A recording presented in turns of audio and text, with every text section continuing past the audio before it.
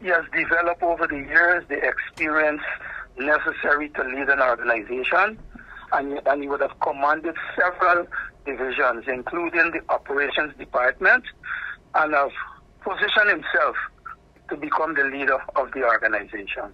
I think with, with, with his experience, um, the other members of the force respect his ability as an experienced individual in the organization. I um, would like to say um, that we, as members of the force, we need to ensure that we work in unison to achieve the organization goal.